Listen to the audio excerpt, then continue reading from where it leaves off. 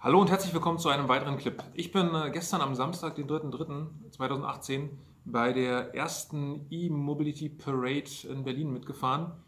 Organisiert wurde das Ganze vom, äh, von Coop. Das ist dieser ähm, ja, mit, mittlerweile größte, zumindest in Berlin, ähm, Elektro-Sharing, äh, Elektro-Roller-Sharing-Anbieter. Äh, neben Emmy ähm, kenne ich die noch. Ähm, das sind diese grau-grünen Roller, die überall am Stadtbild rumstehen. Ähm, von denen wurde das Ganze organisiert. Allerdings war das jetzt nicht nur beschränkt auf die Roller äh, von, von Coop, sondern generell für alle Leute, die Lust haben, bei einer E-Mobilitätsparade mitzufahren. Unter anderem bin ich da mit äh, der, mit der Zero mitgefahren, ähm, habe dann noch für Robin TV ein bisschen ein paar Aufnahmen auch vom, aus Helmsicht gemacht. Ähm, da gibt es auch einen ganz coolen Clip von ihm, den habe ich gleich mal einen äh, Anhang mit reingepackt unten. Ähm, es war noch eine Renault Zoe war noch mit dabei. Ähm, äh, so, ein, so ein Autosharing-Unternehmen, fällt mir der Name jetzt gerade nicht ein, reiche ich nochmal nach. Ähm, und ja, und das Ganze stand unter dem Motto ähm, ja, Nutzen statt Besitzen.